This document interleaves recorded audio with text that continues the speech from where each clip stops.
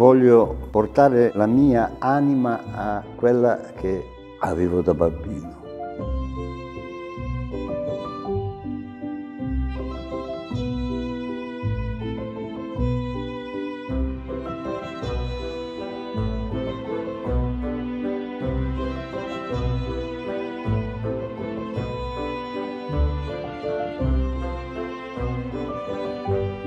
I titoli che do a questi quadri non hanno un riferimento preciso al loro significato, sono solo ricordi di letture di adolescente e anche un po' più avanti con gli anni.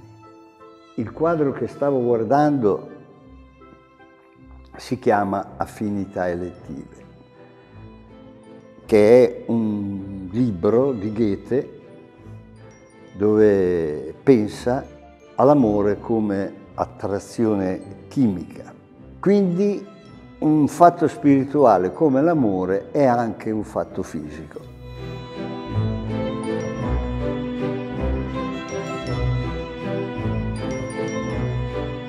La differenza tra fisicità e spiritualità io non la vedo, però la coltivo perché tendo come tutti, essere più fisico che spirituale. Non trovo nella religione, non trovo nella politica la soluzione, la trovo dentro di me. Tutti i titoli che trovate non hanno riferimento con quello che faccio, hanno solo una spinta a ricordarmi che la mia anima è tutte e due le cose, spirituale e materiale. Tutti i materiali che uso nel dipingere sono loro i protagonisti. Io voglio darlo solo a me stesso. Se di conseguenza anche il mondo lo recepisce, vuol dire che si avverano queste, queste cose, altrimenti io sono a posto.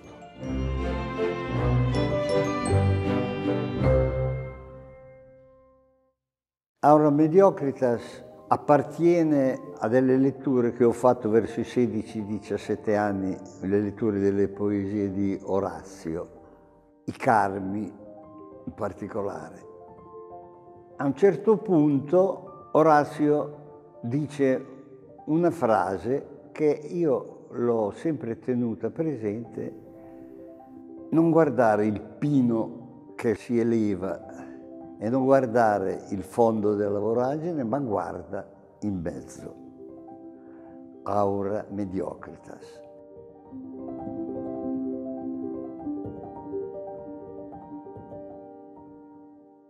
Cioè il mezzo è dorato, il mezzo è quello giusto.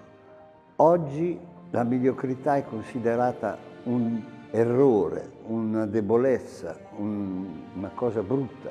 La mediocrità è aurea, basta cercarla.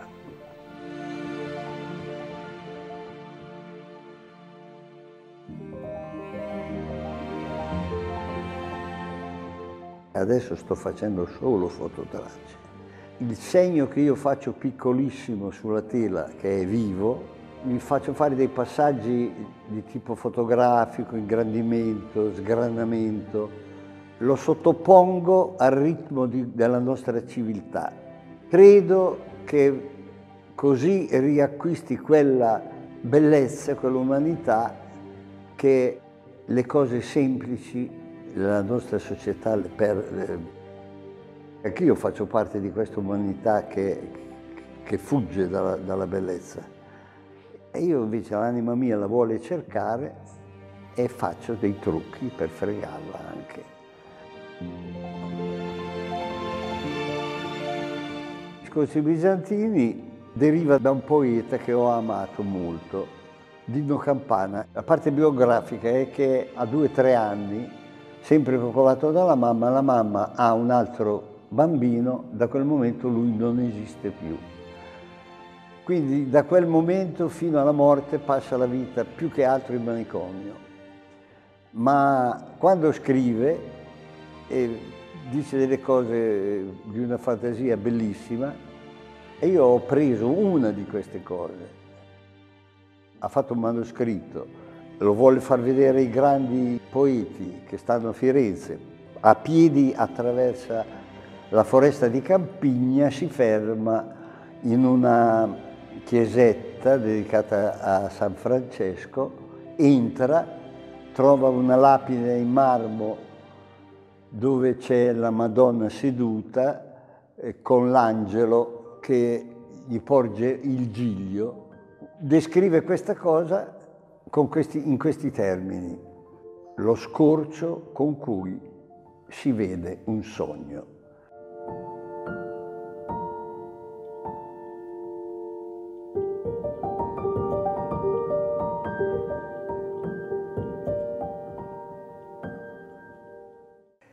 La polvere del colore è il colore che diventa polvere, come diventiamo noi polvere.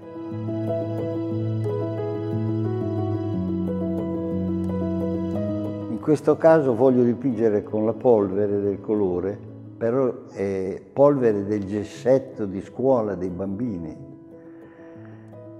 che è stata la prima cosa che ho ricevuto come regalo nel letto da mio padre con dei fogli di carta e vedevo cadere dai gessetti della polvere.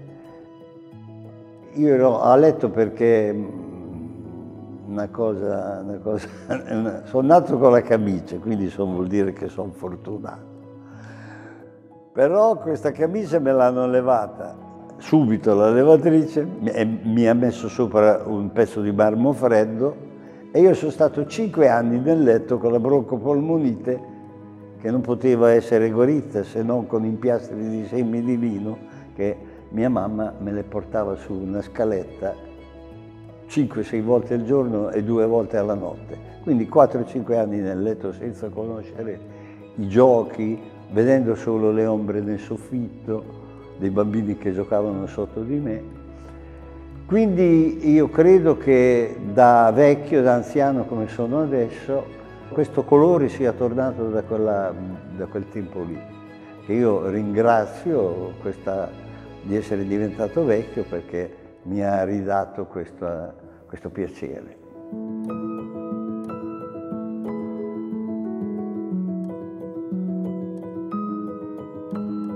C'è la colla, che distribuisco della colla a spray sul, in maniera che il colore una volta che cade, che lo gratto addirittura con un coltello da cucina, neanche con speciali tecnologie, deve cadere come polvere, come neve. E io gioco come giocavo da piccolo, con queste cose qui.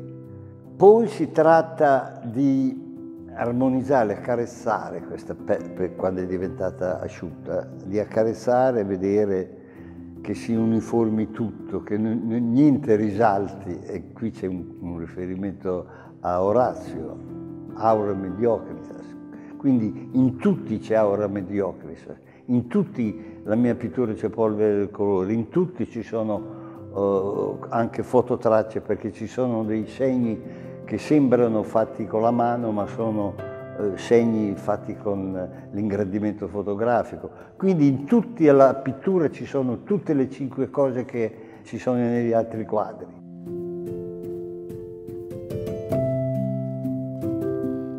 E poi il foglio di plastica che, che scelgo per, per coprire questi quadri non è una protezione, è un'aggiunta di un qualche cosa di, del quale noi abbiamo bisogno nella nostra società per, per fare tutto, con la plastica facciamo tutto.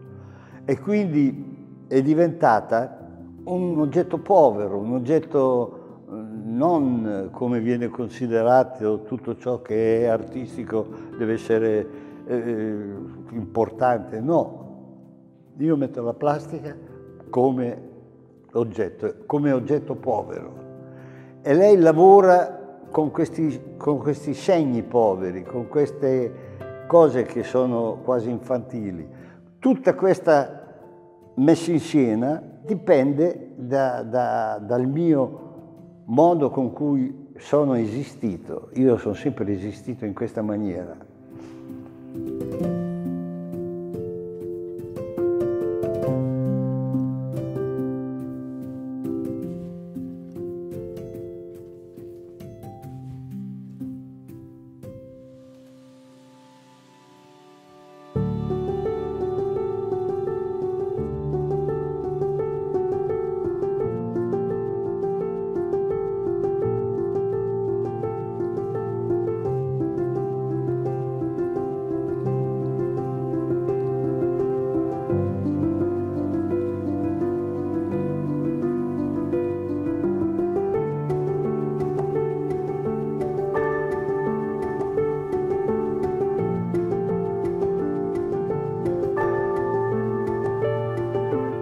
La mia curiosità veniva soddisfatta solo se andavo a cercare i grandi poeti nelle grandi città e io l'ho fatto con un motorino 125 tutte le sabate e tutte le domeniche io ero a Roma, a Milano eh, a parlare con i grandi, bussavo alla porta, chi è? Sono io, voglio parlare con te.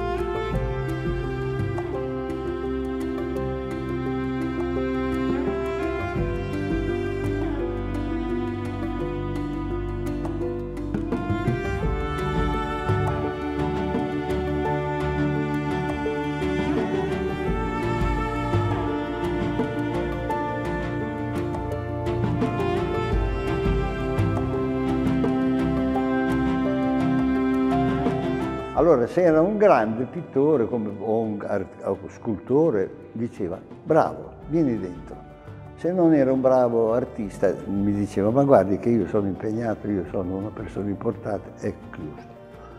Quindi io ho parlato direttamente con degli amici che per la prima volta incontravo ed erano dei grandi artisti della, della cultura moderna.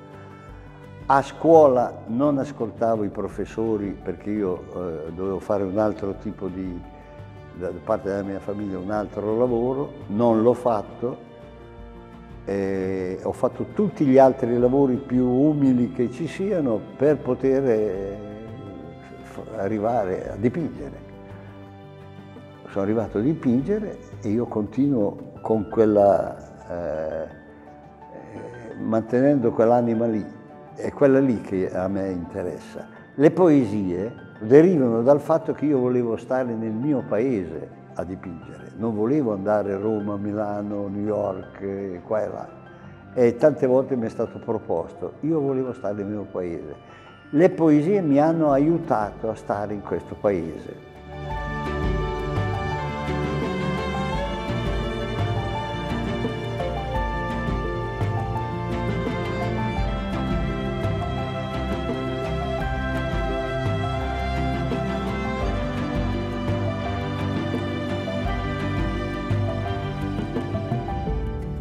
A voi stei a voi che.